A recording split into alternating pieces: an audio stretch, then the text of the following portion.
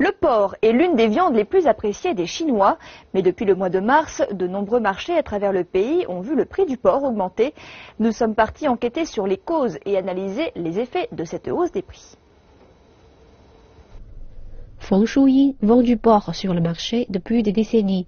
Aujourd'hui, elle a acheté pour 27 yuan le kilo de porc et tente de le vendre à 31.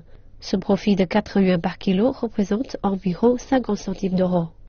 Le profit est faible, la viande est déjà chère, si j'augmente davantage le prix, je veux faire fuir mes clients et je ne veux pas les perdre. Les concurrents de fond doivent également faire de même. C'est plus cher que l'année dernière. Je vendais la viande à 24 yuan le kilo en mars dernier, mais à présent c'est 34 yuan, ce qui est 40% plus cher. Le problème c'est la hausse du prix d'achat.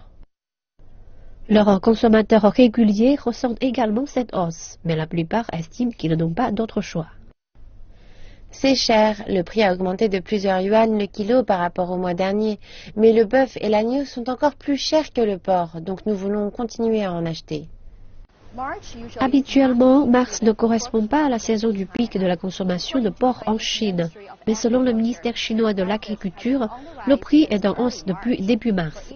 Pour chaque kilo, le prix moyen national a dépassé les 25 yuan, ce qui représente environ 4 dollars. C'est environ 50% plus cher qu'à la même période l'année dernière.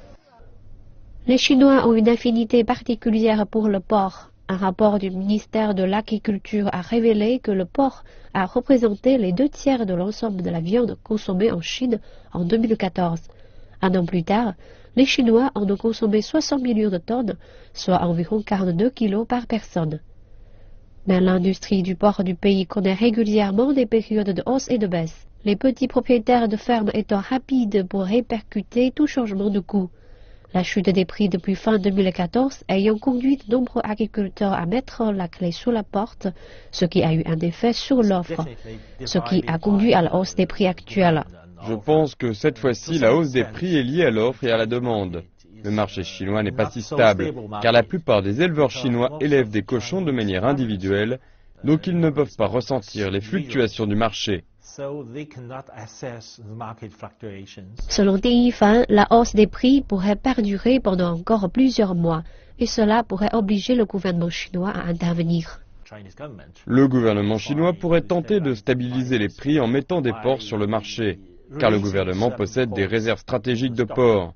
En cas d'urgence, le gouvernement chinois pourrait injecter davantage de porcs sur le marché pour faire baisser les prix.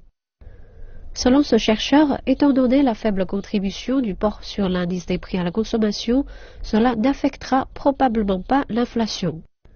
Et bien que le gouvernement chinois se soit engagé à importer davantage de produits agricoles à l'avenir, il n'estime pas que la hausse des prix ait une quelconque influence sur cette décision.